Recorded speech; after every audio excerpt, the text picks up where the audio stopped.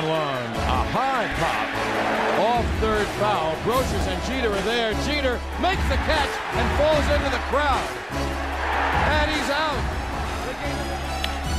Hit toward the hole. Jeter backhands from the outfield grass.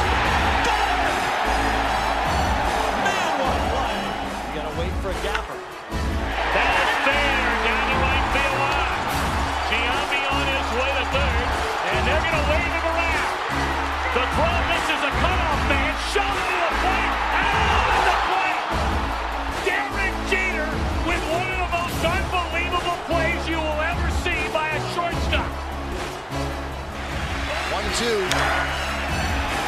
He loops that to left field. Going to be a tough play. Jeter on the run, makes the play, and flies into the stands.